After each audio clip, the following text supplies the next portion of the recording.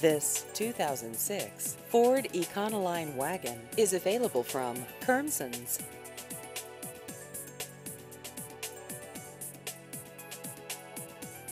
This vehicle has just over 64,000 miles.